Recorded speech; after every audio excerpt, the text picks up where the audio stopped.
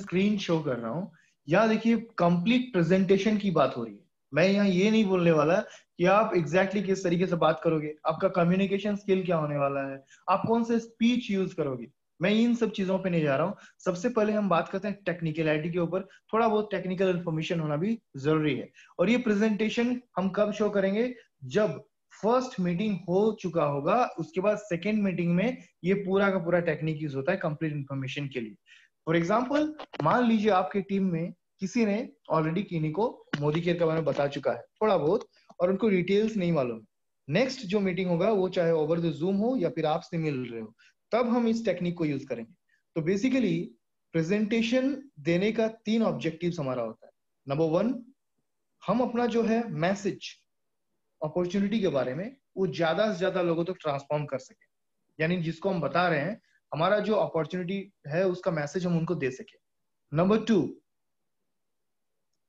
to express about yourself and the team आप अपने बारे में और अपने टीम को एक्सप्रेस कर पाए। आपका मोटो क्या है? आपका उद्देश्य क्या है? ये। और तीसरा जो ऑब्जेक्टिव होता है, वो होता है कि ज़्यादा से ज़्यादा लोग हमसे जुड़े टू कनेक्ट मोर पीपल तो ये कैसे पॉसिबल हो पाएगा?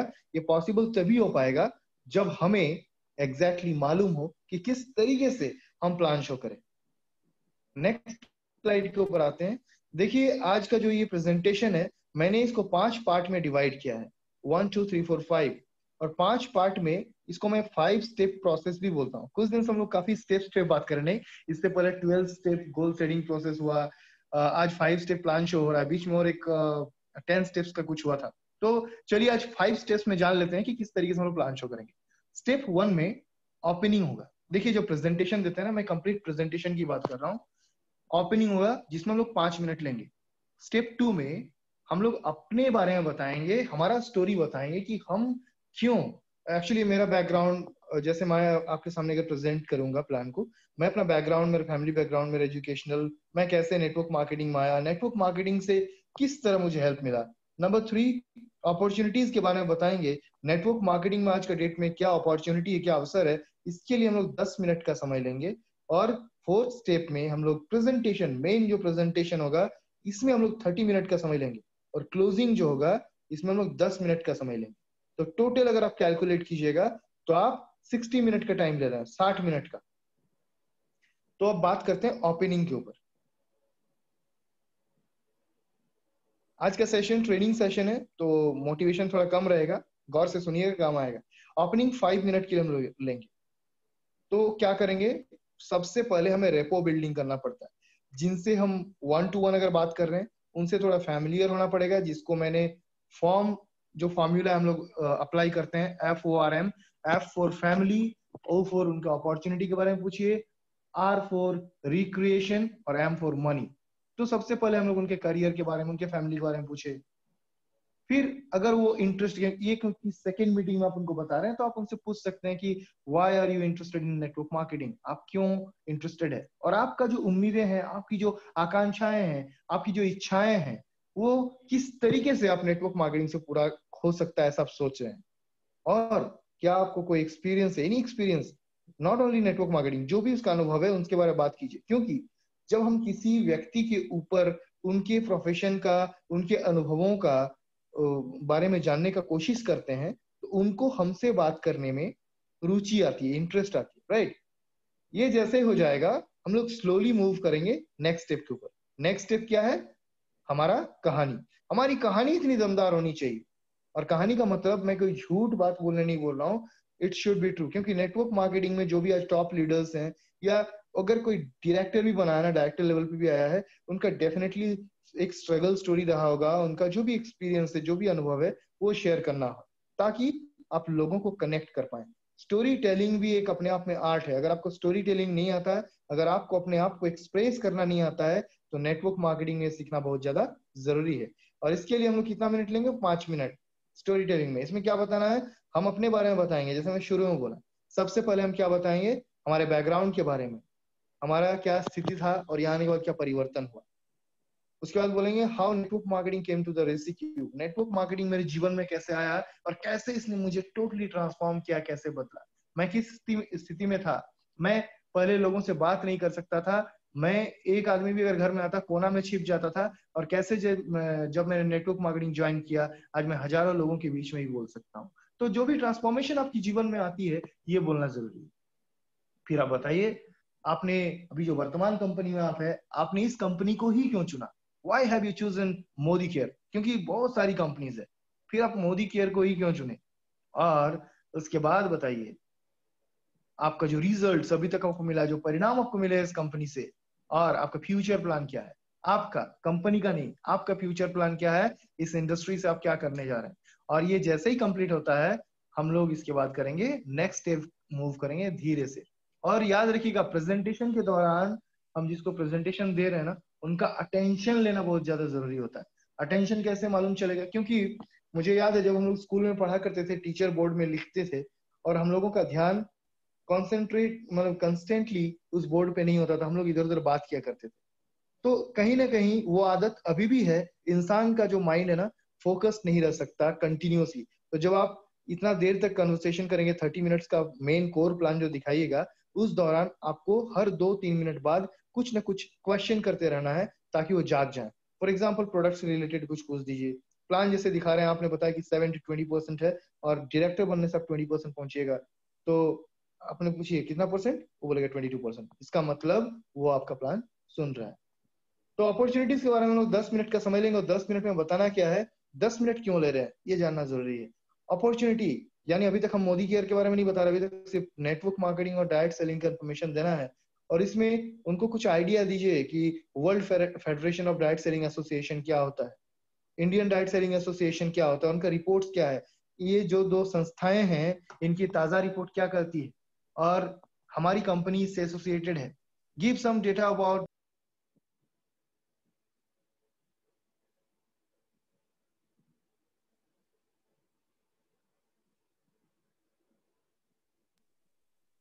sorry call आ गया था। जब भी रिसेशन आया है, चाहे वो 2008 में हो या फिर अभी का रिसेशन हो, जब जब रिसेशन आया है, ये नेटवर्क मार्केटिंग कंपनी है, इसको रिसेशन का असर नहीं होता है, ये मंदी के दौर में भी अपना प्रोग्रेस को बनाए रखता है। तो आखिर क्या है ऐसा? ये सब इंफॉर्मेशन देना है। Market share of different products group देखिए एक दिन, कुछ दिन पहले सर एक डेटा शेयर किए थे, जिसमें फ़िल्म इंडस्ट्री इतना करता है इंटरटेनमेंट का वो अलग हो गया स्पोर्ट्स इंडस्ट्री इतना करता है। सारे लोगों ने अपना डेटा दिया और नेटवर्क मार्केटिंग का डेटा भी उसमें था। तो कहीं ना कहीं हमें वो भी प्रेजेंट करना है। और एंड ऑफ़ द लास्ट में अपॉर्चुनिटी के टाइम केपीएमजी और फिक्की का रिपोर्ट देना है। और इसके बाद जब 10 मिनट कंप्लीट होने को है, तब हमें बताना है कि हमारी कंपनी का जो फ्यूचर विजन है और प्रिपरेशन है, तैयारी है फ्यूचर को लेकर, वो कैसी है? मोदी केयर किन किन देशों में ओपनिंग करने जा रही है? मोदी केयर कितना टेक एडिक्ट कितना टेक सेवी होने जा रही है? यानी टेक्नोलॉजी को किस तरह से अडॉप्ट कर रही है और प्रोडक्ट को लेकर उनका कितना यू नो एग्रेसिव है कितना uh, लोगों का नब्ज को पकड़कर वो उनके हिसाब से प्रोडक्ट लॉन्च कर रहे हैं राइट right? और इसके बाद ये जैसे ही कंप्लीट होगा हम लोग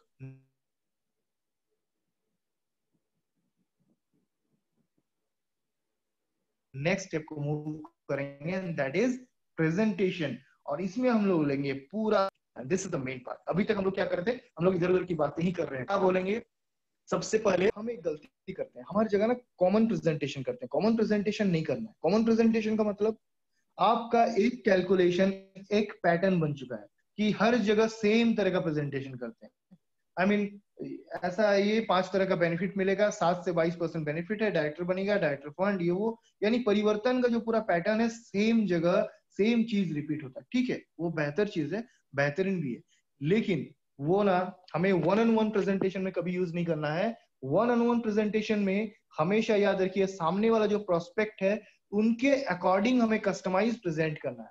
रेशियो तो कभी बदलेगा नहीं। जो परसेंटेज जो पे आउट है, वो तो नहीं बदलेगा, बट आपको तरीका ज़रूर बदलना चाहिए। Presentation should include about your company हम अपने कंपनी का बारे में दो मिनट में बताएँगे। तो दो मिनट में हम क्या बता सकते हैं कंपनी के बारे में? ये आज आप लोग इसी वक्त नोट डाउन कर लीजिए। दो मिनट में कम से कम दस ऐसी पॉइंट्स अपनी कंपनी के बारे में बताइए, जो सीधे उनके दिमाग पर चोट करे। आई मीन सीधे उनके दिमाग पे सबकॉन्शियस माइंड में हिट करे, आपके प्लान खत्म होने के बाद भी वो बात उसको घूमता रहे। अरे, मोदी केयर जो है, भारत का पहला राइट सेलिंग कंपनी है। ये मोदी ग्रुप ऑफ़ कंपनीज़ का पार्ट है, चौसठ हज़ार करोड़ का। ये पद्म भूषण अवार्ड भी नहीं है। इंडिया में जो जेरोक्स मशीन यूज़ होता है, वो मोदी ग्रुप के द्वारा लाया गया है। इंडोफिल्स केमिकल मोदी ग्रुप का है। मोदी ग्रुप का एकमात्र ऐसा डाइट सेलिंग कंपनी है, जिसका और भी बहुत सारे इंडस्ट्रीज़ है, यानी 28 से 30 अलग अलग इंडस्ट्रीज़ है, वो भी छियानबे देशों में। बाकी सारी डाइट सेलिंग कंपनियों के जो ऑनर है, वो अपने सिर्फ़ उसी मदर कंपनी के ऊपर डिपेंड रहता है। बट समीर मोदी जी का और भी डिफरेंट कंपनी है, इसलिए उनको इसमें डिपेंड होने की ज़रूरत नहीं है। तो दो मिनट में हम ऐसी बहुत सारी चीज़ें बता सकते हैं, और सच में हमारे पास खासियत है भी।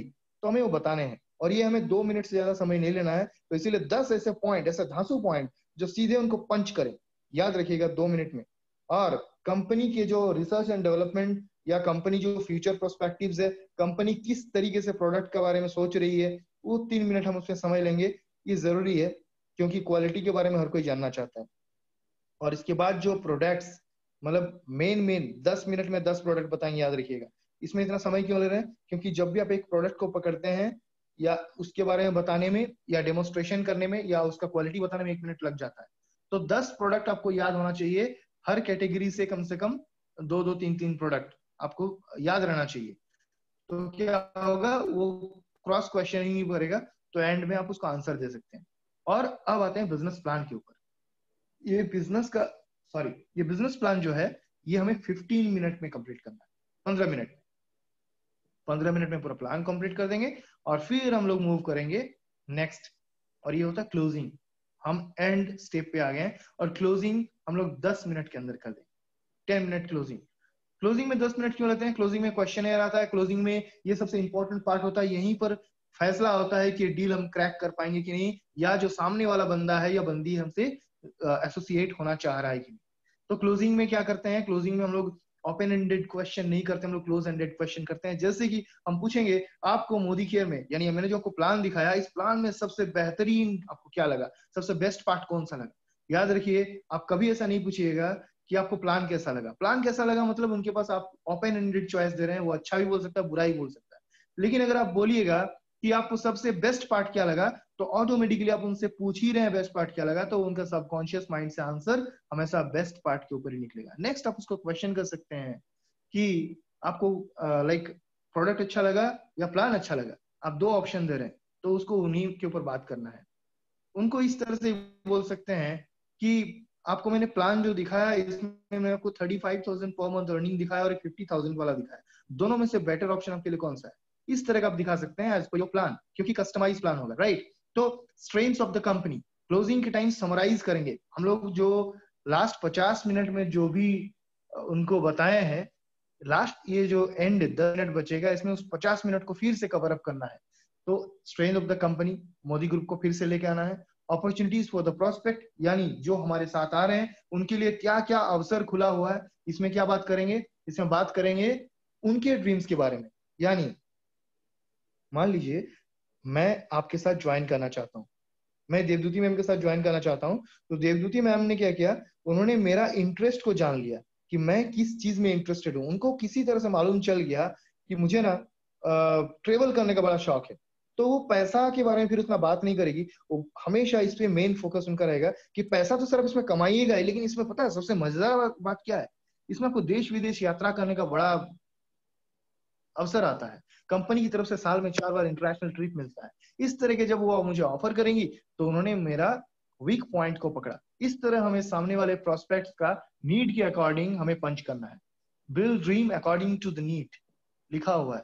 Welcome the prospect for the work together और एंड जब हो गया क्लोजिंग वो जब साथ में एग्री हो जाते हैं, उनको वेलकम कीजिए और उनको भरोसा दिलाइए कि मैं आपके साथ हूँ।